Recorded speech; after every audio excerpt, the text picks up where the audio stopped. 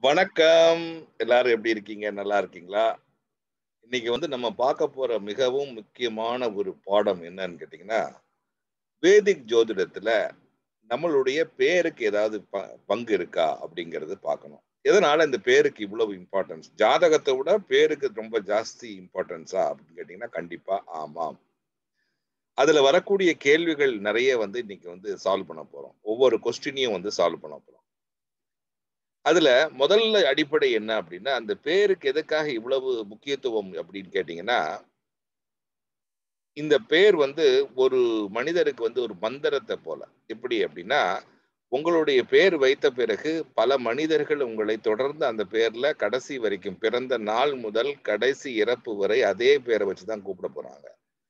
ஜாதகம் என்பது உங்களுடைய அன்றைய நிலையில் இருந்த வானிலையில் இருந்த கிரக நிலைகளை மட்டுமே ஆய்வு செய்து கொடுப்பது தான் அந்த ஜாதகம் என்பது.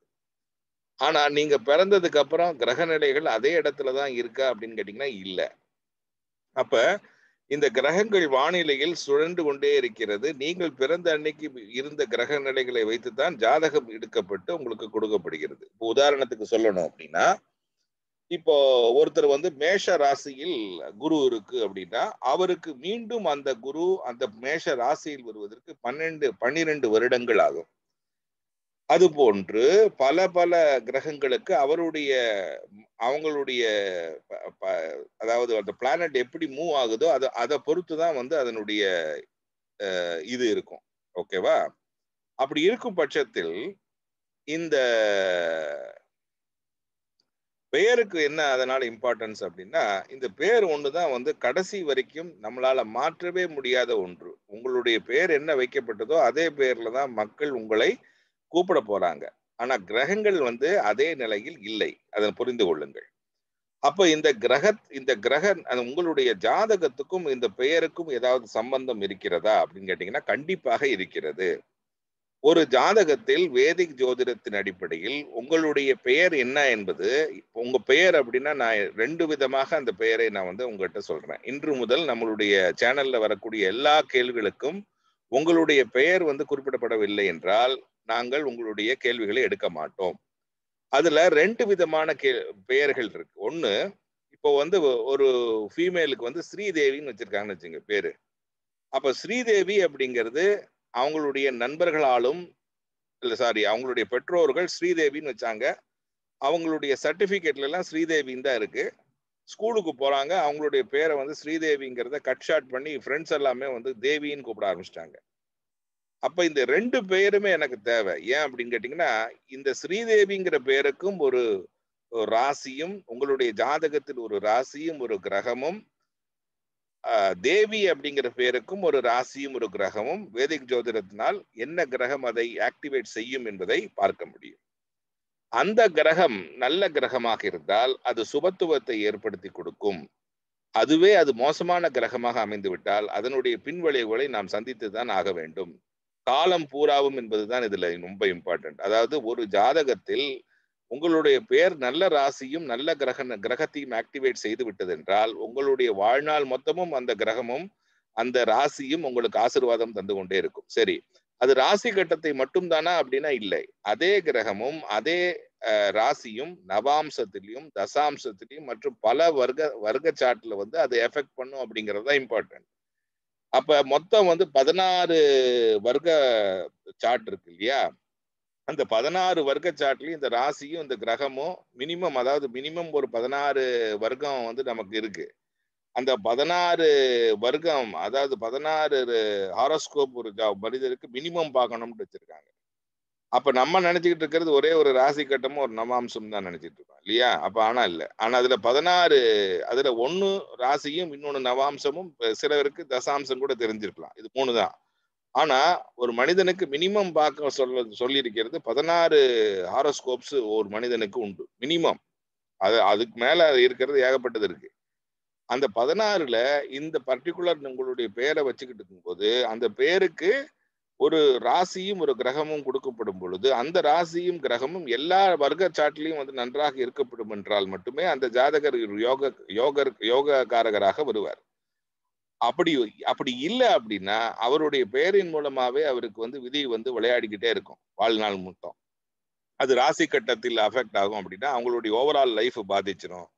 நவாம்சம் அப்படின்னா அவங்களுடைய திருமண வாழ்க்கையை பாதிச்சிரும் பாதிச்சிரும். தசாம்சம் அப்படின்னா அவங்களுடைய தொழிலையும் பாதிச்சிரும். இதுல எல்லா ராசி கட்டத்திலையும் மோசமாக இருந்து விட்டால் வாழ்க்கையே மொத்தமாக போய்விடும் என்பதுதான்.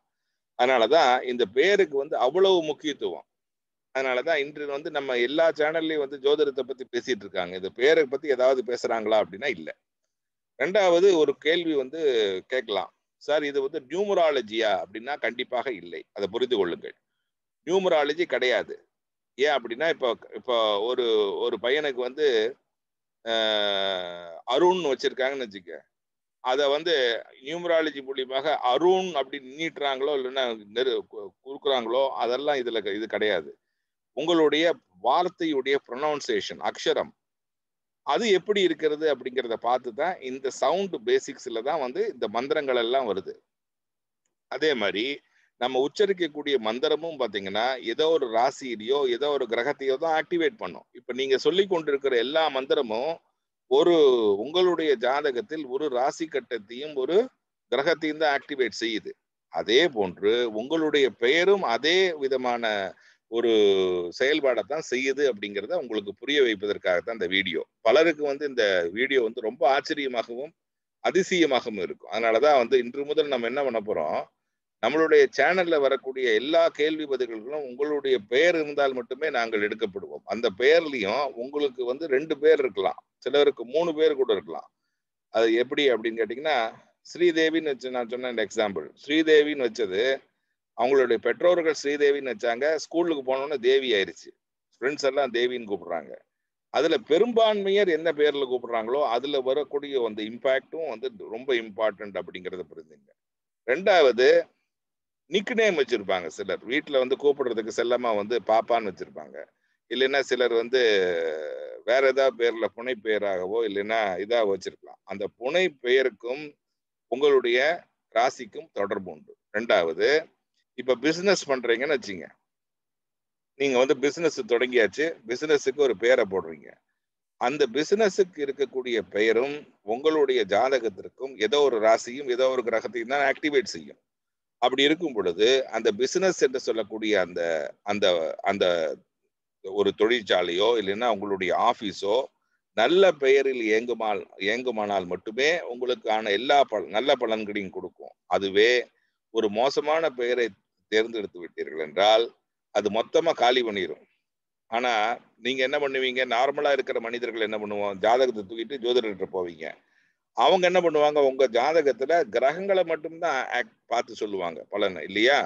அதனாலதான் இந்த இந்த ஜாதக பலனுக்கு எவ்வளவு பர்சன்டேஜ் வச்சு டிவைட் பண்ணலாம் அப்படின்னு பாத்தீங்கன்னா ஐம்பத்தி ரெண்டு பர்சன்ட் இல்லைன்னா ஐம்பத்தோரு பர்சன்ட் வந்து பெயருக்கு தான் இம்பார்ட்டன்ஸ் நாற்பத்தெட்டு பர்சன்ட் மட்டும்தான் ஜாதகத்திற்கு இம்பார்ட்டன்ஸ் அதாவது கிரகத்தை வைத்து பார்க்கக்கூடியது இன்று என்ன கிரகம் எங்கே இருக்கிறது உங்களுடைய ஜாதகத்திற்கு கிரகங்களை வைத்து என்ன பலன் உங்களுடைய இன்றைய வானிலையில் இருக்கக்கூடிய கிரகம் அதாவது டிரான்சிட் என்று சொல்லக்கூடிய அதையும் வைத்து உங்களுக்கு ஒவ்வொரு கிரகங்களும் எடுத்துக்கொண்டிருக்கின்ற அந்த நட்சத்திரங்களையும் வைத்து பஞ்ச அங்கங்களை வைத்து ஏன்னா பஞ்சாங்கம் என்பது இம்பார்ட்டன்ட் இல்லையா? அதையெல்லாம் வைத்து தான் வேதிக் ஜோதிடத்தை வந்து பலன் சொல்றோம். அப்படி இருக்கும் பொழுது அதற்கு வந்து வெறும் முக்கியத்துவம் நாற்பத்தெட்டு பெர்சன்ட் தான். பாக்கி ஐம்பத்தி ரெண்டு சதமானமும் இந்த பெயர் தான் ஏன் அப்படின்னா எவ்வளவு ஒவ்வொரு நாளும் இந்த பெயர் சாகிற வரைக்கும் பிறந்ததுலேருந்து கடைசி வரைக்கும் நம்ம வந்து இதே பெயரை தான் உச்சரிக்கிறோம். அதை மாற்றவே முடியாது உங்களால். அப்படியே மாற்ற வேண்டும் என்றால் நல்ல வேதிக் ஜோதிடர்களிடம் அணுகி அவர்களிடம் இந்த பெயரை கொடுத்து இன்னொன்று முக்கியமான தகவல் என்ன அப்படின்னா இதற்கு ஒரு ஸ்பெசிஃபிக் கைண்ட் ஆஃப் ப்ரிடிக்ஷன்ஸும் உண்டு. ஒவ்வொரு பீரியட்லையும் ஒவ்வொரு ஏஜ்லையும் என்னெல்லாம் வந்து அந்த ஆளுக்கு அந்த பெயரின் மூலமாக நடக்கும் என்பதை முன்னாலேயே முன்னாலேயே தீர்க்க தரிஷ்டியாக எழுதி வைத்துள்ளார்கள். அப்போ அதை நம்மளுடைய எங்களுடைய வேதிக் ஜோதிட பள்ளியில மிகவும் முக்கியமான ஒரு இது என்னன்னு கேட்டீங்கன்னா பெயர் மட்டுமே. அதனால அந்த பெயருக்கு வந்து அவ்வளவு இம்பார்ட்டன்ஸ் இருக்கு அப்படிங்கிறது இன்னைக்கு வந்து உங்களுக்கு புரிய வச்சிருக்கேன். ரெண்டாவது ரெண்டாவது இப்போ நீங்க வந்து ஒரு ஜோதிட பலன் கேட்க வரீங்க அப்படின்னா அந்த ஜோதிட பலன் கேட்கும் பொழுது நீங்க வந்து கீழே ஃபர்ஸ்ட் வந்து பேரை போட்டுருங்க. உங்களுடைய சர்டிபிகேட்ல இருக்கக்கூடிய பெயர் ரெண்டாவது உங்களை கூப்பிடக்கூடிய பெரும்பான்மையர் கூப்பிடக்கூடிய ஒரு பெயர். புனை பெயர் இருக்குமானால் அதையும் சேர்ந்து போட்டு உங்களுடைய பிறந்த நாள் பிறந்த வரு பிறந்த வருடம் பிறந்த அதெல்லாம் date of birth time place of birth மட்டும் கொடுங்க. கொடுத்து ஒரே ஒரு கேள்வி மட்டும்தான் கேளுங்கன்னு சொல்லிட்டே இருக்கேன். நிறைய பேர் அதையும் ஃபாலோ பண்றதே இல்லை. ஒரே ஒரு கேள்வி முதல்ல கேளுங்க. ஏன்னா நம்மளுடைய சேனல்ல எல்லாருக்குமே பதில் சொல்லணும் அப்படிங்கறது எங்களுடைய ஆசை. அப்படி இருக்கும் பட்சத்தில் ஒரு கேள்வி மட்டும் கேளுங்க. ரெண்டாவது அந்த கொஸ்டின் அந்த அந்த கொஸ்டின் ஃப்ரேம் பண்ணும்போது கொஞ்சம் டைம் எடுத்துக்கிட்டு பண்ணுங்க. சில பேர் என்ன பண்ண நீங்கள் கூட ஒருத்தருக்கு வந்து சொல்லணும் அப்படிங்கிறது கடைசி நிமிஷம் வரைக்கும் இப்போ எனக்கு வந்து சேனல்ல வீடியோ பண்றதுக்கு முன்னாடி நான் வந்து டைம் ஸ்பெண்ட் பண்ணி தான் உங்களுக்கு சொல்ல முடியுது. அப்படி இருக்கும் பட்சத்தில் நான் வந்து அதை செய்யணும் அப்படின்னா அதுக்கு முன்பாக உங்களுடைய டீட்டெயில்ஸ் எல்லாம் கரெக்டாக இருக்கணும். இன்னைக்கு ஒரு அது மாதிரி தான் ஒருத்தர் என்ன பண்ணிட்டாரு? மதுரை டிஸ்ட்ரிக்ட்னு போட்டாங்க. மதுரை டிஸ்ட்ரிக்ட்னா அது மதுரை டிஸ்ட்ரிக்ட்ல ஏகப்பட்ட சிட்டிஸ் பிளே டவுன் வில்லேஜ் எல்லாம் இருக்கு. அதுல நான் என்னத்துன்னு சொல்றது? அதனால கரெக்டாக கொஞ்சம் இன்ஃபர்மேஷன் கொடுக்கும்போது place of birth district state எல்லாமே கொடுத்தீங்கன்னா கொஞ்சம் கூட டீட்டெயிலாக இருக்கும். ரெண்டாவது கொடுக்கும்போதே உங்களுடைய நட்சத்திரங்களையும் நீங்கள் கொடுத்தீங்கன்னா உங்களுக்கு தெரிந்திருந்தால் உங்களுடைய நட்சத்திரத்தையோ லக்னத்தையோ கொடுத்தீங்கன்னா அதை நாங்கள் செக் பண்ணுறதுக்கு ஈஸியாக இருக்கும். நம்ம இப்போ திடீர்னு ஒரு சார்ட்டை போடுறோம். உங்களுடைய டேட் ஆஃப் பர்த் நீங்கள் கொடுக்குறீங்க. சில நேரத்தில் வந்து ஜாதகம் தப்பாக இருக்கும். இல்லைன்னா ரெண்டு பேருடைய டீட்டெயில்ஸும் பொருந்தாது. அப்படி இருக்கும் பட்சத்தில் அதை வந்து ரெக்டிஃபை பண்ணுறது நல்லது. அதனால தான் அப்போ அது எல்லாத்தையும் வந்து இன்னைக்கு வந்து சொல்லி கொடுக்கணும் அப்படிங்கிறதுனால தான் அந்த வேதிக் ஜோரத்துல பெயரும் விதியும் சொல்லிட்டு ஒரு வீடியோ பண்ணேன். ரெண்டாவது இந்த பெயர வீடியும் விதியும் எப்படி சார் இது வருது அப்படிங்கறத நீங்க கேட்காதீங்க. அது எங்களுடைய எங்களுடைய பள்ளியினுடைய சீக்ரெட் ஆனா நீங்க உங்களுடைய பெயரை குறிப்பிட்டு இப்ப யாருக்காவது இது இந்த வீடியோ பார்த்ததுக்கு அப்புறம் சார் என்னுடைய ஜாதகத்துல எந்த ராசியும் எந்த கிரகம் ஆக்டிவேட் பண்ணுது அப்படின்னு கேட்டீங்கன்னா அதை வந்து சொல்லி கொடுக்க முடியும். அது யார் வேணாலும் கேட்கலாம் இந்த வீடியோக்கு கீழே. ரெண்டாவது நான் சொன்ன மாதிரி இப்போ ஒருத்தருக்கு வந்து ரொம்பவே அந்த ரொம்ப பேர் வந்து படாதபடப்படுத்திட்டு இருக்குன்னு வச்சுங்க. நீங்க சொல்லாமலே நான் வந்து உங்களுடைய பலனை சொல்லிட்டேன்னா அதை விட ஆச்சரியம் இல்லை இல்லையா? இப்போ வந்து ஒரு பேரை கொடுக்குறீங்க உங்களுடைய டேட்டா ஆஃப் பர்த்தையும் ஆரஸ்கோப்பும் கொடுக்குறீங்க நான் பட் பட் பட் பட்டுன்னு இந்த பேருக்கு பலனை சொல்லிட்டேன்னா உங்களுக்கு ஆச்சரியம் வருமா வராதா? அப்போ வரும் கண்டிப்பா. அப்போ அந்த ஆச்சரியம் வரும்போது தான் இந்த ஜோதிடத்திற்கான உண்மை என்னங்கிறது உங்களுக்கு புரியும். ரெண்டாவது அந்த பெயரில் மிக மிக அரு மிக ஜாஸ்தியாக வந்து பிரச்சனை இருக்குன்னு வச்சுங்களேன் அதை மாற்றுவதற்கு ஜோதிடத்தில் வழி இருக்கிறதான்னு கேட்டீங்கன்னா கண்டிப்பாக இருக்கிறது.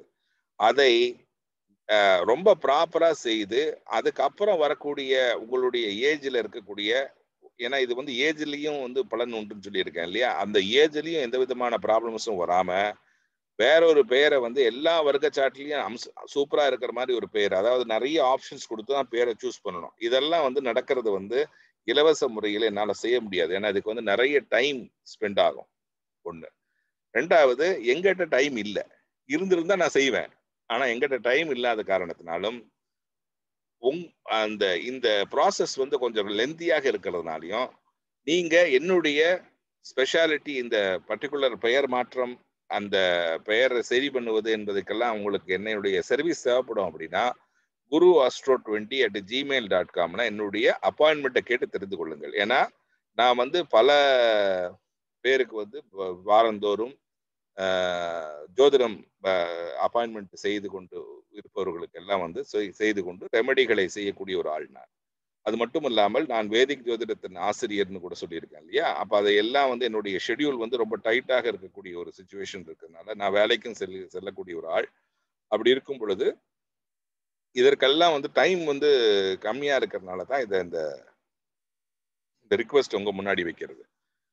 அதை நீங்கள் செய்வீர்கள் என்று எதிர்பார்த்து இந்த வீடியோ பிடித்திருந்தால் உங்களுக்கு ஏதாவது அதன் மூலியமாக கொஸ்டின்ஸ் ஏதாவது இருக்குமானா டெஃபினட் டெஃபினட்டா நீங்கள் வந்து கேட்கலாம். அதற்கு வந்து கண்டிப்பாக நான் பதிலளிப்பேன். ஓகேவா அதை கேளுங்க. கேட்டுட்டு இது மாதிரி உங்களுக்கு சார் இதில் நீங்கள் சொன்னது எனக்கு கொஞ்சம் புரியலையே.